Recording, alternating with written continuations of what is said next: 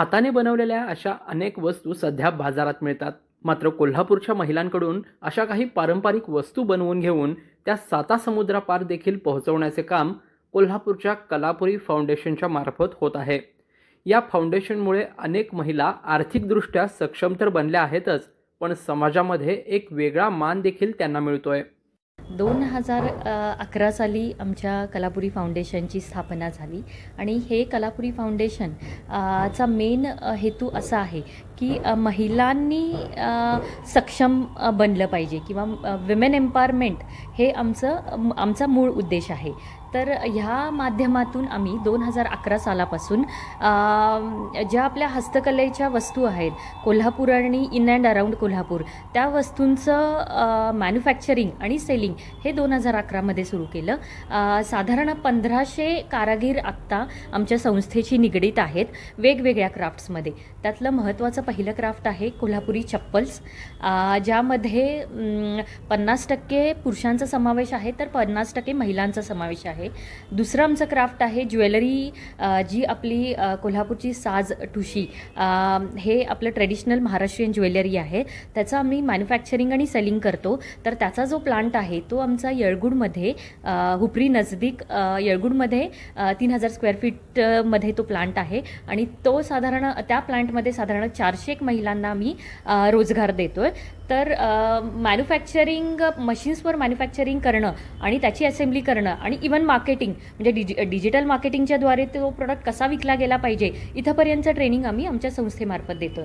तिसरं जे आमचं क्राफ्ट आहे ते टेराकोटा हँडीक्राफ्ट्स म्हणजे सगळ्या मातीच्या वस्तू.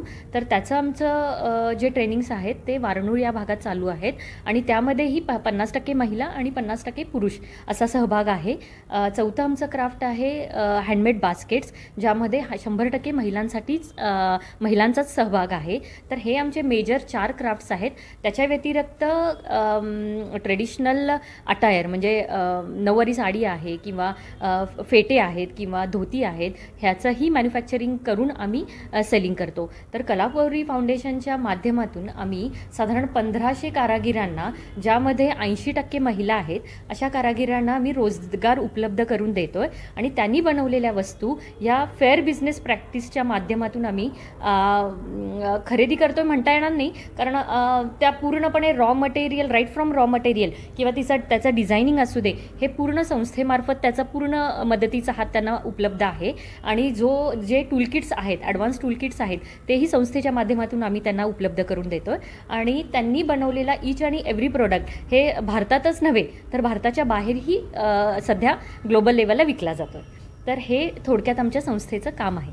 कसं आहे कलापुरीमध्ये काम केल्यानंतर मला म्हणजे इथली वागणूक पण चा त्यांनी मला फिजिकली आणि फायनान्शियली दोन्ही फायदे झालेले आहे घरी बसून जे म्हणजे वे वेळ वेळ फुकट जात होता ते काहीतरी सत करण्यासाठी काम वेळ लागलेला आहे इथं.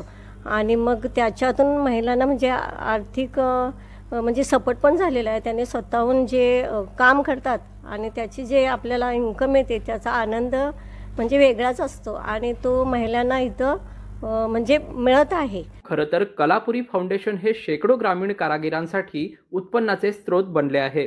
या फाउंडेशनने त्यांच्यासोबत काम करणाऱ्या अनेक महिला कारागिरांच्या जीवनात मोठा बदल घडवून आणलाय. त्यामुळे लाखो महिला आणि इतर कारागिरांचे शुभाशीर्वाद या फाउंडेशनला मिळत आहेत.